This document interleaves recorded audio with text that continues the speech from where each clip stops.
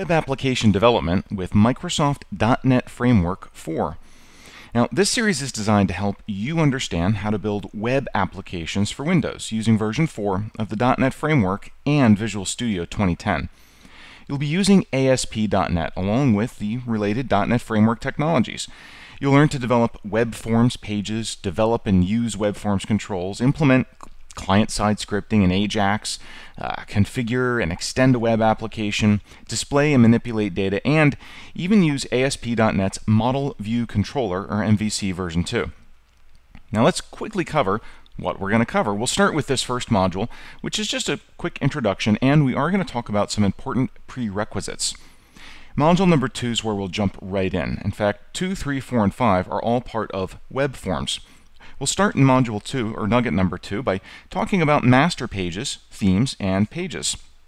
Uh, we'll go over things like configuration and page directives like view state and request validation. We'll talk about the purpose of the web.config file, uh, how to set the HTML doc type, how to create and apply themes uh, using content placeholders, and using things like nested master pages. Uh, we'll also talk about switching themes at runtime. Now, nugget number three is going to be all about the page lifecycle. So we'll talk about things like the uh, is postback and is valid techniques, uh, show you how to dynamically create controls, and we'll kind of talk about control availability within the page lifecycle so that you know when you can access a control and when you can't, uh, accessing control values during postback, and overriding page events. Nugget number four, still talking web forms, will be about page caching and state management. Uh, we'll actually look at data caching and page output caching as well as control output caching. Talk about some of the cache dependencies and how to set cache lifetimes, and talk about things like session and application state, server and view state, which are client side, uh, configuring session state, session state compression, view state compression, and so forth. Finally, nugget number five will be our last one on web forms, and it'll be about globalization, uh, creating a web application that can be localized into different languages. So we'll talk about using resource files and browser files, look at the current culture and current UI culture, and the ASP localize. The next four nuggets are going to focus on web controls.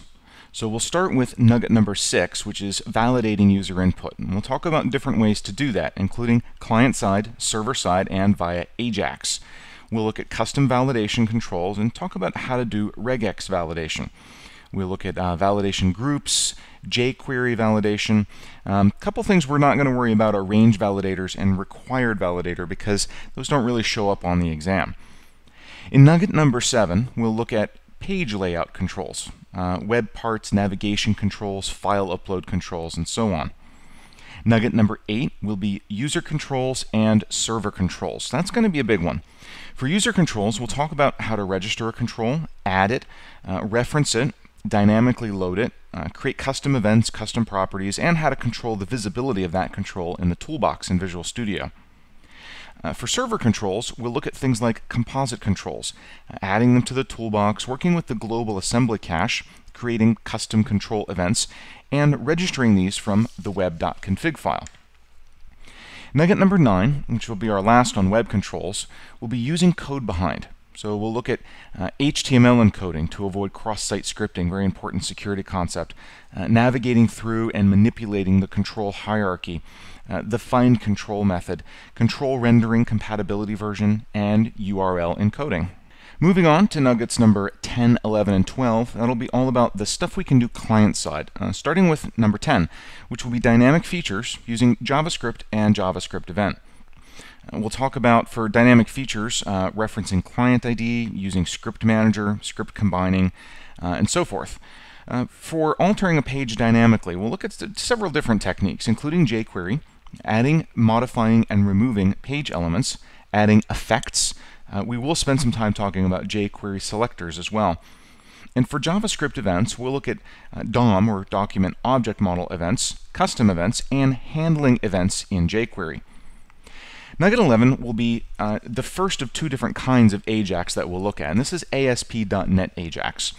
We'll be talking about client-side templating, creating a script service, extenders, uh, how to interact with the server, the Microsoft AJAX client library, custom extenders, multiple update panels, triggers, timer, uh, and uh, quite a bit more.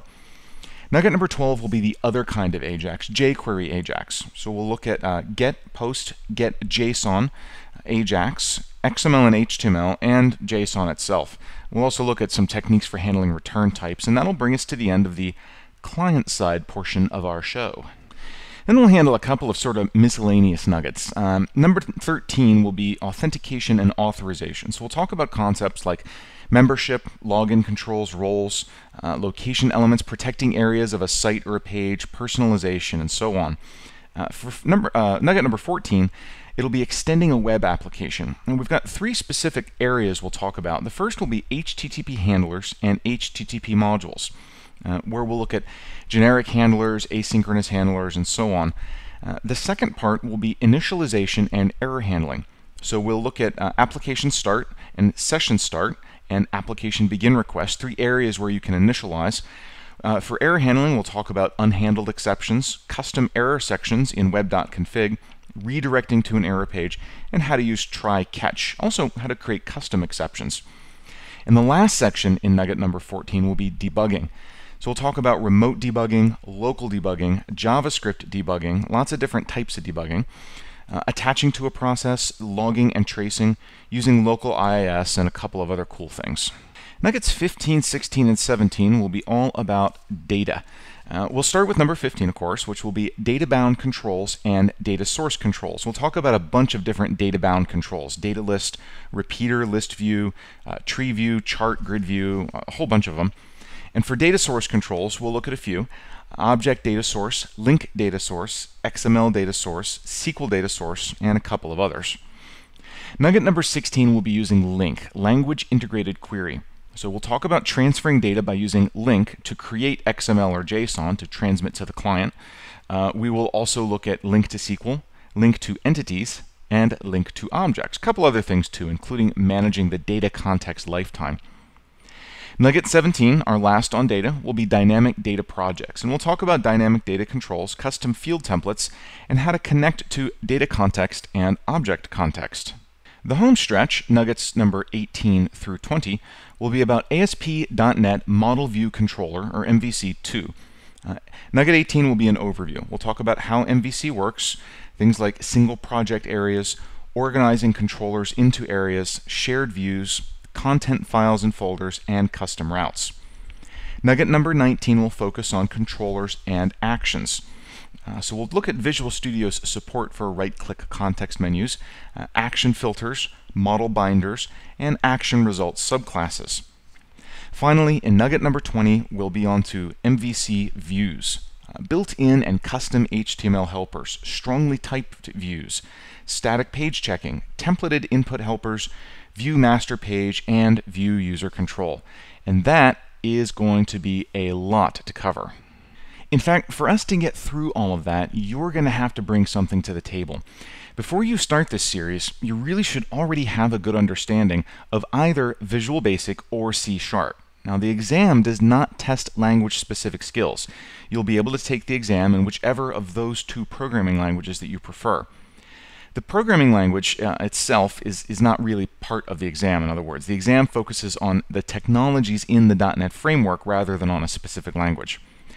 You should have a strong understanding of object-oriented programming, or OOP, in the .NET framework, including concepts like uh, classes, inheritance, namespaces, object instantiation, properties, methods, and so forth. Now, any Microsoft exam can be challenging. For this one, I found that really thoroughly, thoroughly reviewing the materials that I'm going to present in this series of nuggets was a great start. From there, I reviewed the Microsoft documentation on some of the key elements to make sure I was really familiar with everything they could do and how they worked. And then, and here's the key, I spent a lot of time actually practicing, writing code, debugging it, and making it work. The exams include a lot of code snippets, either in Visual Basic or C Sharp, your choice, and you really need to have a working knowledge of what the code does and what code you'd write to accomplish particular tasks. I'm going to introduce you to all of these concepts and show you how they work, but it's really up to you to practice them to make sure that you really, really embrace them and understand them and that you can sit down and really use them as part of a production project. So if you're ready to dive in, I'm ready to go too.